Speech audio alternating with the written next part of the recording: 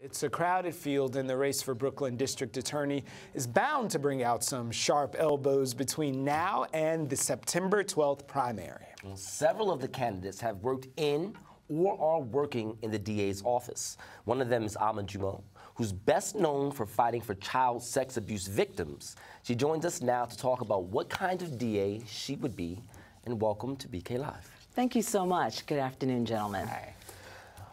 May I? One, it's an honor and a pleasure to have you here, uh, and, and, thank you for joining us today. Uh, you've outlined a three-pronged integrity agenda uh, plan to hold staff accountable and regain the trust of Brooklynites, saying if elected, and you stood on the steps of the Brooklyn Supreme Court, you said that you would investigate and prosecute misconduct from within the DA's office.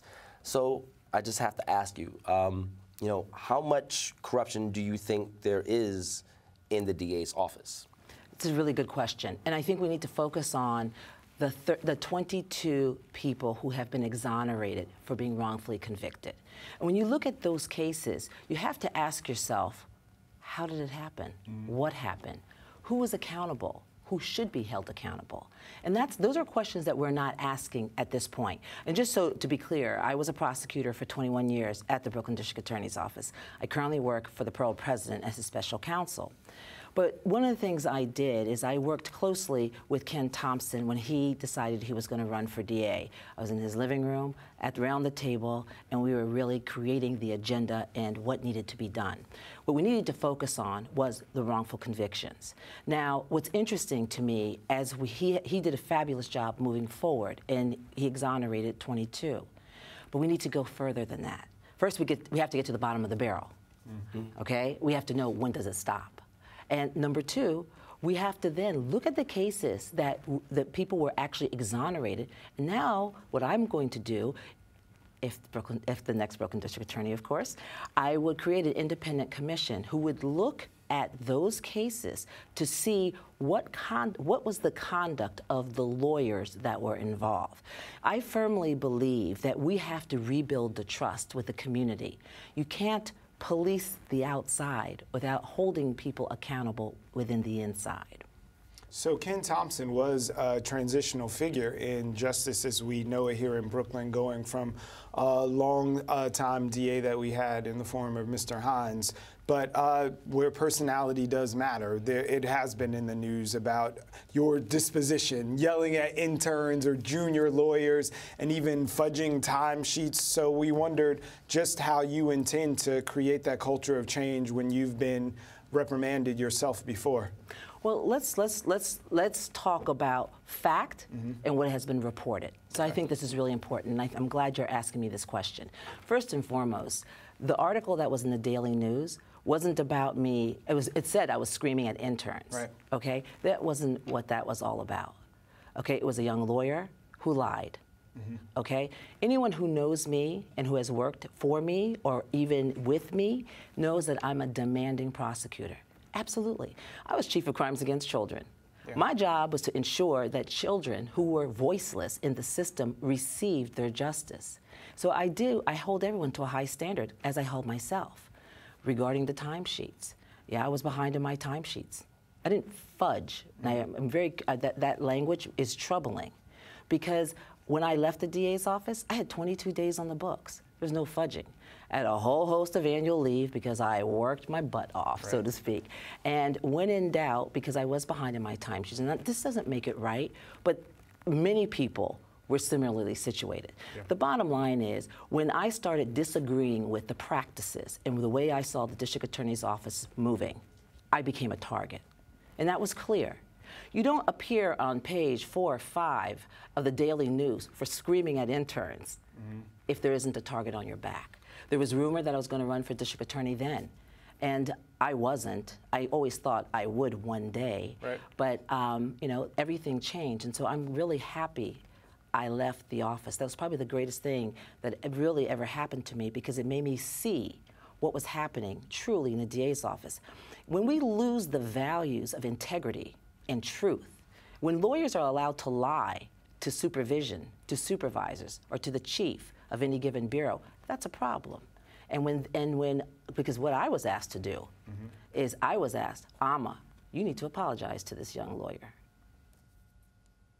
Interesting. So I just on For the, lying scene, on the theme of this though, I'm saying if Mm-hmm. I've never seen a headline about a man yelling at an intern or being abusive to a subordinate, and Mm-hmm. looking at this field right now, how there are several prominent women who, Mm-hmm. by all accounts, would do an amazing job as DA. Mm-hmm. I wondered how much of that is involved in the race, or if you feel like you're up against something being a woman and a woman of color more specifically.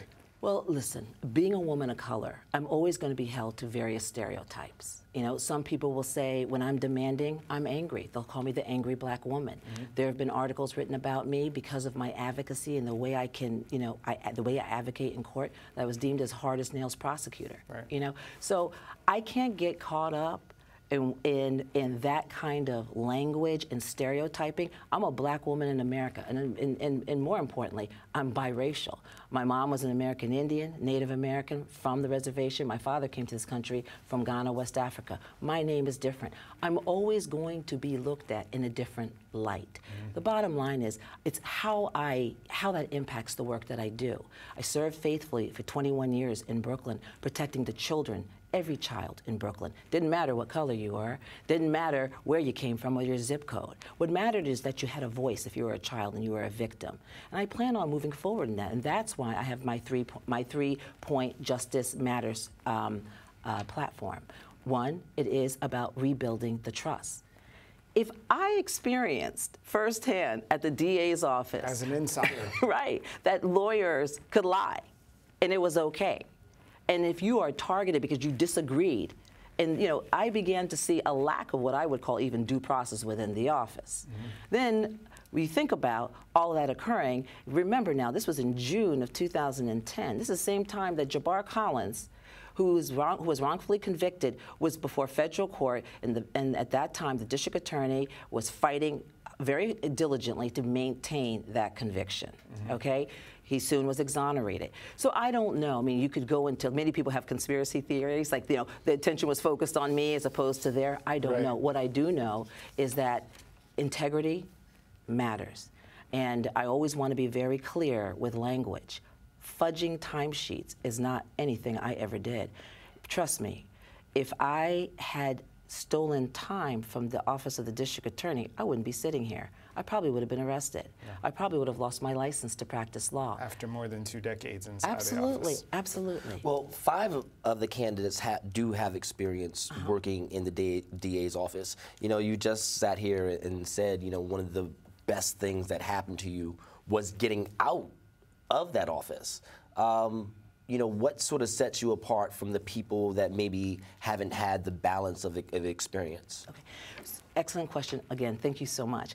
Um, having been at the district attorney's office, I learned what it meant to be a prosecutor. I learned what it meant to serve. I learned what it meant in terms of what justice and how justice matters. When you're out there with the community, or you're whether you're on the corner talking to people, or whether you're in the courtroom, or people have been victims of crime, you've got to have that compassion and passion to understand what it means. I left the district attorney's office. When I say I was happy I left, I was happy I left because I could not practice justice when lying and integrity didn't matter. So I work at the borough president's office right now. And what I do is I continue to service the needs of Brooklynites. I continue to do proactive things. And this becomes really important in terms of what a district attorney needs to do. It's one thing to lock people up. It's another thing to be proactive. And so I really believe in what I call proactive justice. What do you think the split should be? Because there are people, and we've talked about this Mm-hmm. Before, who are yelling at their TV, just lock them up. We need that tough as nails prosecutor. Yeah. Defend Brooklyn, protect us, versus the uh, more touchy feely, let's get people into programs or reform. What do you personally feel comfortable as a split? I think it's a combination. It has to be. Trust me. You know, violent felony crimes are going to be prosecuted. Mm-hmm. You know, I'm looking at the low-level crimes that are impacting Black and Latino youth and our youth in general. That's problematic. When you have things like riding your bicycle on the sidewalk, spitting on the sidewalk, loitering, which equals and ends up on young people as criminal records, that's a problem. You know, the goal goal is to really get our youth invested in the community. I'm going to create a youth advisory council, and I'm going to work with at-risk youth. I love my college-bound youth, but I'm concerned about my at-risk youth mm-hmm. because you don't have to have a college degree or buy or have a home in order to be vested in your community. That's what I want to do. All right. Uh, we have maybe like 30 seconds, Okay. but uh, if you could just briefly tell us, uh, you've called upon the governor um, Mm-hmm. to pass the Child Victim Act, um, which, among other things, would eliminate the statute of limitation for child sex abuse victims. Mm-hmm. What other things would it do, and why is it important that this stay in the forefront of the of the public? Because you know, when you work with victims, I mean, the victims I worked with, they were able, for whatever reasons, you know, to come forward and disclose. But this kind of crime that impacts people, okay, sometimes they can't even find their way because of, oftentimes it's intrafamilial or it's someone that they know. So it takes a long time for them to get the courage or even be able to come forward.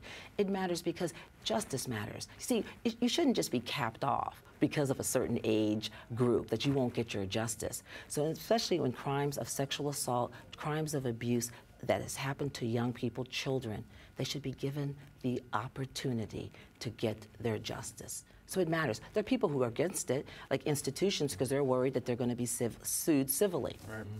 Justice matters for our victims, always. We're gonna have to leave it right there. Okay. Thank Jamel, you so much. she is a candidate for Brooklyn District Attorney, and it's spelled D W I M O H when you're on your ballot. Yes, thank you. All right. Thanks Thank for you so coming by. much. Thank you. Thank you. Thank you.